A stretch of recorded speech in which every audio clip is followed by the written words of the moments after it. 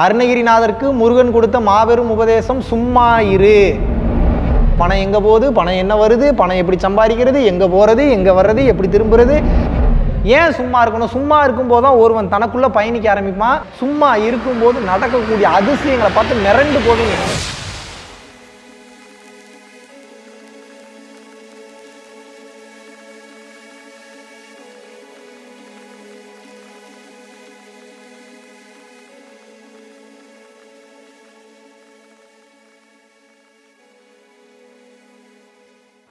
குருவே சரணம்.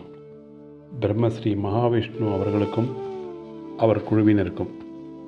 நான் தருண் பேசுகிறேன் பெங்களூர்லேருந்து. லாஸ்ட் ஞாயிற்றுக்கிழமை அதாவது செவன்டீன்த்து நான் ஜூம் மீட்டிங் மூலமாக பிரம்மஸ்ரீ மகாவிஷ்ணு அவர்கள் மூலமாக தீட்சபா அடைஞ்சேன். அதுக்கப்புறம் இந்த ஒரு மூணு நாலு நாளில் என்னுடைய உலகமே மாறிடுச்சு. நான் பார்க்குற விதங்கள் ஒன்று ஒன்றும் வேறு வேறு மாதிரி தெரியுது. மூணு மணிக்கு எந்திரிச்சு அவர் சொன்ன மாதிரி பயிற்சி செஞ்சுக்கிட்டு இருக்கேன் இந்த நாலஞ்சு நாளே நிறைய மாற்றங்களை பார்த்தேன். நன்றி வணக்கம். குருவே சரணம். குருவே சரணம். அனைவருக்கும் வணக்கம். வேலை இல்லாமல் வீட்டில் நான் சும்மா இருந்தால் என்னங்க பண்ணுறது இப்படி ஒரு கேள்வி. ஓப்பனாக சொல்லணும்னா இன்னும் சிறப்பாக சும்மா இருங்க. அதான் நான் கொடுக்கக்கூடிய உபதேசம். என்னப்பா நீ ஏதோ புதுசாக சொல்கிற இதுதான் உண்மை தான் சத்தியம். சும்மா இருந்தீங்கன்னா உண்மையாகவே சும்மா இருக்க கற்றுக்கங்க இருக்கிறதுலையே மிக கஷ்டமான விஷயம் சும்மா இருக்கிறது தான். தெரியுமா? வடிவில் சொன்ன மாதிரி சும்மா இருந்து பாடுறா. அதில் இருக்கிற வழி உங்களுக்கு அப்போ தான்டா தெரியும். அவர் காமெடியாக சொல்லிட்டாரு. ஆனால் அதுக்கு பின்னாடி இருக்கக்கூடிய மாபெரும் தத்துவம் என்ன அப்படின்றத சொல்கிறேன் அருணகிரிநாதருக்கு முருகன் கொடுத்த மாபெரும் உபதேசம் சும்மா இரு. சும்மா இரு சொல்லற.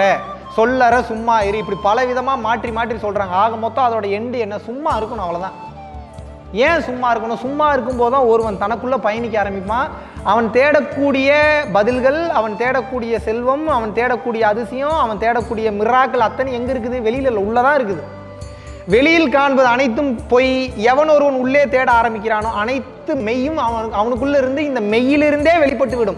மெய்ப்பொருளை காண வேண்டும் என்றால் இந்த மெய் வழியாக உள்ளே செல்ல வேண்டும். அப்போ சும்மா இருக்கீங்க அப்படின்னா ஒரு பத்து நிமிஷம் சும்மா இருக்கீங்க அந்த பத்து நிமிஷத்தில் ஃபோனை நோண்டலாமா? லேப்டாப்பை நோண்டலாமா? யாருக்காவது மெயில் அனுப்பலாமா? இந்த நேரத்தில் என்ன பண்ணுறது மைண்டுக்கு வேலை கொடுக்காதீங்க முதல்ல. நீங்கள் சும்மா இருக்கும்போது சும்மா இருந்து பழகுங்க. நீங்கள் சும்மா இருக்கிற டைமே கஷ்டமாக இருக்குன்றப்ப இந்த உடலுக்கு வேலை கொடுத்து கொண்டே இருந்தீங்கன்னா பணத்தை நோக்கி மட்டுமே இன்றைக்கு உங்களுடைய தேடல் இருக்குது பணம் எங்கே போகுது? பணம் என்ன வருது? பணம் எப்படி சம்பாதிக்கிறது? எங்கே போகிறது எங்கே வர்றது? எப்படி திரும்புறது? இப்படியே நீங்கள் நினச்சிக்கிட்டு இருக்கீங்கன்னா ஒரு காலகட்டத்துக்கு மேலே செத்துருவீங்க. உயிர் போயிடும் உயிராற்றல் மொத்தமும் போய் செத்துருவீங்க. இதுதான் நடக்கும். எல்லா நோயும் வந்துடும் உங்களுக்கு. தூங்குறது எதுக்கு? மனமும் பேச்சும் மற்ற நிலைக்கு ஒருத்தன் டெல்டா அப்படின்ற ஸ்டேஜுக்கு போகும்போது காஸ்மிக் எனர்ஜி மொத்தத்தையும் கிரகிச்சு அடுத்த நாள் இயங்குவதற்குண்டான ஆற்றல் கிடைத்து விடுகிறது. இது தூங்கும்போது தூங்கும்போது மட்டும்தான் எனர்ஜியை கிரகிக்க முடியுமான்னு கேட்டால் கிடையாது. ஒருவன் வாழும் போதே நம்ம இப்போ கண்ணு முடிச்சுட்டு இருக்கும்போதே அந்த தன்மைக்கு போகலாம் அதுக்கு தான் அந்த யோக பயிற்சிகள்லாம். இந்த யோக பயிற்சிக்கெல்லாம் போலனாலும் பரவாயில்ல. இதெல்லாம் நீங்கள் வந்து அட் எண்டு கூட வாங்க. ஆரம்ப கட்டத்தில் ஒன்று தெரிஞ்சுக்க சும்மா இருக்கீங்கன்னா முதல்ல ஃபோனை தூக்கி வச்சுட்டு முதல்ல சும்மா இருந்து பழகுங்க. யாருக்கிட்டையும் பேசாமல் ஒரு டோரை லாக் பண்ணி என்னை கொஞ்ச நேரம் டிஸ்டர்ப் பண்ணாதப்பா. என்னை முதல் தொந்தரவு பண்ண போட்டு உயிர் எடுக்காத. என்னை கொஞ்சம் நேரம் சும்மா இருக்கு அப்படின்னு சொல்லி எல்லாத்தையும் ஆஃப் பண்ணி போட்டுட்டு நீங்கள் வாட்டுக்கு சும்மா உட்காந்து பழங்க எதை பற்றியும் கவனிக்காமல் சும்மா இருக்கணும். எப்படி சும்மா இருக்கிறது? கண்ணை முடிக்குங்க.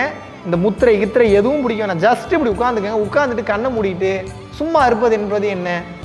இப்படி உட்காந்து கண்ணை மூடி உட்காந்திங்கனாவே ஏதோ ஒரு எண்ணம் வரும். எண்ணம் வரும்போது எண்ணத்தை கவனிங்க. எதுவுமே பண்ணாதீங்க. ஒரு தேர்ட் பர்சனாக இருந்தால் அந்த தாட்ஸை கவனிக்க ஆரம்பிங்க. எப்போ நீங்கள் அந்த தேர்ட் பர்சனாக இருந்து அந்த தாட்ஸை கவனிக்க ஆரம்பிக்கிறீங்களோ அப்போ என்ன ஆகும்னு வந்து பார்த்தீங்கன்னா இந்த சும்மா இருக்கிறதுன்றதுக்கு உண்டான உண்மையான எக்ஸ்ட்ரெஸி அந்த மெய் மறந்த இன்பத்தையே நீங்கள் அப்போ தான் பார்க்க ஆரம்பிப்பீங்க. அதை முதல்ல நீங்கள் நல்லா புரிஞ்சுக்கணும். அப்போ சும்மா இருக்கிறதுக்கு உங்களுக்கு டைம் கிடைக்குதுன்னா நீங்கள் சும்மா தான் இருக்கணுமே தவிர அதை விட்டுட்டு அந்த நேரத்தில் எந்த வேலையும் செய்யக்கூடாது. ஏன்னா வேலை செய்கிறதுக்கு எல்லா நேரமும் தயார் நிலையில் இருக்குது உலகம் தயார் நிலையில் இருக்குது உங்கள் மொத்த உலகம் உங்களை போட்டு தள்ளுறதுக்கு தயார் நிலைமையில் இருக்குது எப்படி போட்டு தள்ளுறதுக்கு தயார் நிலைமையில் இருக்குது ஏதாவது ஒரு வேலையை கொடுத்து உங்கள் உயிராற்றலை எடுத்து உங்களை நாஸ்தி பண்ணுறதுக்கு தயார் நிலையில் இருக்குது உண்மையாகவே நீங்கள் தெரிந்து கொள்ள வேண்டிய உண்மை என்னன்னா சும்மா இருக்கும்போது சும்மா இருந்து பழகுங்க. சும்மா இருக்கும்போது நடக்கக்கூடிய அதிசயங்களை பார்த்து மிரண்டு போவீங்க. அதிசயங்கள்னு ஒரே வார்த்தையில் நான் முடிச்சிட்டேன். அந்த சும்மா இருக்கும்போது எவ்வளோ விஷயம் உங்களுக்கு கிடைக்கும் தெரியுமா? அவ்வளோ கிடைக்கும். ஆல்பர்ட் ஐன்ஸ்டீன் என்ன சொல்கிறாரு அப்படின்னா நல்ல ஒரு விஷயத்தை புரிஞ்சுக்கோங்க. Sometimes I stuck up with some places to get some answers but I don't get any thing I get frustrated and I go to sleep when I wake up the answer swims to me அப்படிங்கிறார். அப்படின்னா என்ன? ஒரு சில பதில்கள் கிடைக்காம குழம்பி போய் கடுப்பாகி போய் டென்ஷன் ஆகி போய் படுத்து டென்ஷனில் இருப்பேன் நான். என்னடா கிடைக்கலையேன்னு கடுப்பாகி போய் பேசாமல் படுத்துருவேன். தூங்கி முடிச்சு எந்திரிப்பேன். எந்த கேள்விக்கு பதில் தேடிட்டு இருந்தனோ அந்த கேள்விக்கு உண்டான பதில் ஆட்டோமேட்டிக்காக என்ன தேடி வரும். நான் ஒன்றுமே பண்ணாமல் இருக்கிறப்ப தேடி வருங்கிறார். அப்போ ரகசியம் என்ன? சும்மா இருந்தீங்கன்னா அத்தனையும் கிடைக்கும் உங்களுக்கு. இதான் ரகசியம். மாபெரும் ரகசியம். மாபெரும் ரகசியம். புத்தர் போதித்த பத்து நாள் விபாசனா நீங்கள் அட்டன் பண்ணியிருந்தீங்கன்னா தெரியும். நீங்கள் போயிருந்தீங்கன்னா தெரியும். பத்து நாள் உங்களுக்கு கிளாஸே சும்மா இருக்கிறது தான் உங்களால் சும்மா இருக்கவே முடியாது. ஏதாவது வேலையை செஞ்சுக்கிட்டே இருக்க தூண்டும். இதை போய் செய்ய அதை போய் செய்ய. உட்கார முடியாமல் உடம்பெல்லாம் நடுக்கம் கொடுக்க ஆரம்பிக்கும். கத்துவீங்க கதறுவீங்க பதட்டம் படபடப்பு எல்லாம் வர ஆரம்பிக்கும். ஏன்னா சும்மா இருக்க இருக்க டீப் லேயரில் இருக்கக்கூடிய அத்தனை கரும பதிவுகளும் வெளியேறும். உணர்வுகளாக வெளியேறும். உங்களால் அதை ஹேண்டில் பண்ண முடியாது. கதற ஆரம்பிச்சிருவீங்க. அப்போ என்னன்னா அந்த பதிவுகளற்ற தன்மை தான் முக்தி நிலை. அந்த பதிவுகளற்ற தன்மைக்கு பத்து நாள் பயிற்சி தான் விபாசனான்னு சொல்லி கொடுக்குறாங்க. அப்போ நீங்கள் அந்த தன்மைக்கு போகிறதுக்கு சும்மா இருப்பது மிகவும் அவசியம். நீங்கள் அந்த தன்மைக்கெல்லாம் எண்டில் போகலாம் இப்போ நான் உங்களுக்கு சொல்ல வேண்டிய விஷயம் ஒன்றே ஒன்று தான் நல்லா மைண்டில் வச்சுங்க வாய்ப்பு கிடைக்கும் போது முதல்ல சும்மா இருந்து பழகுங்க. எதையும் நோண்டாமல் எதை பற்றி திங்க் பண்ணாமல் வரக்கூடிய எண்ணத்தை ஜஸ்ட் கவனிச்சுட்டு பாருங்க. ஒரு அரை மணி நேரம்னா அரை மணி நேரம் அஞ்சு நிமிஷம்னா அஞ்சு நிமிஷம் ஒரு மணி நேரம்னா ஒரு மணி நேரம். அப்படி சும்மா இருந்து கற்றுக்கிட்டிங்கன்னா உயர்ந்த கட்ட மெய்ஞானத்திற்கு சென்று விடுவீர்கள். நன்றி வணக்கம்.